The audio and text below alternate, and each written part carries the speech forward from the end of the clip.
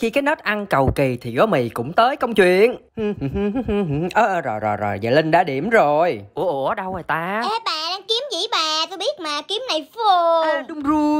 Không biết mọi người sao nha nhưng mà với cách thì trước khi no cái bụng thì phải đẹp con mắt cái đã. Thế nên. Cách cách quyết định sẽ chỗ tài làm món mì gói phiên bản ngon hơn hình. Nói là nói cho sơm cho mạnh miệng vậy thôi chứ bây giờ là đi vòng vòng trong nhà nè Tìm có cái gì còn ăn được á thì dồn hết vô tô mì tự động nhìn nó sẽ quanh tá tràng thôi. Cưa ra gom hết món vào lòng. Ê ê kiếm này phù này ngon nè bà. Ủa hay ta? Bởi vậy người ta nói có làm thì mới có ăn đúng là chí lý. Mới có đảo đảo địa địa xíu mà ra được một rừng một ề topping các thứ luôn nè trời. Rồi bây giờ thì em mì ơi anh sẽ rưới lên em những yêu thương tinh túy. Xong rồi mời em vào ngâm mình nha Ăn dụng xíu. Hi hi hi hi.